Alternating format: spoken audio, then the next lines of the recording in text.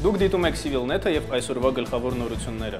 Հայաստանի վարչապետ Տիգրան Սարգսյանը ասել է, որ Հայաստանը դրական է վերաբերում հետխորհրդային տարածքում Եվրասիական միություն ստեղծելու Ռուսաստանի վարչապետ Վլադիմիր Պուտինի առաջարկին։ Այդ առաջարկը հերանեկարային է եւ ժամանակին համընթաց, ասել է Տիգրան Սարգսյանը։ Եվրոբանկը պատրաստ է ավելացնել Հայաստանում իր ներդրումների ծավալը, ասել է Վերակառուցման եւ Զարգացման Եվրոպական բանկի տնօրենների խորհրդի անդամ Կուրտ Բայերը։ Ըստ նրա, բանկը վերջին տարիներին Հայաստանում ներդնում է տարեկան շուրջ 70 միլիոն եվրո եւ պատրաստ է ավելացնել դրանց ծավալները, ստանալով նոր առաջարկներ ագրոբիզնեսի, ֆինանսների, ենթակառուցվածքների եւ այլ ոլորտներում գործող փոքր եւ միջին ձեռնարկություններից։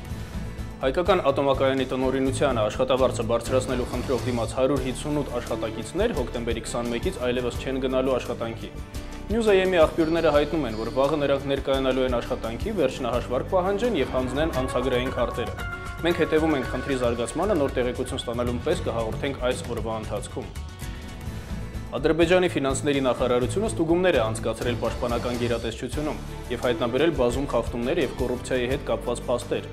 Ստուգումների արդյունքում պարզվել է, որ Պաշտպանության նախարարության մի շարք կառույցներում բացակայում են 2009 թվականի բոլոր ֆինանսական փաստաթղթերը։ Օրվա մնացած կարևոր իրադարձություններին ցանոթացեք civilnet.tv կայքում։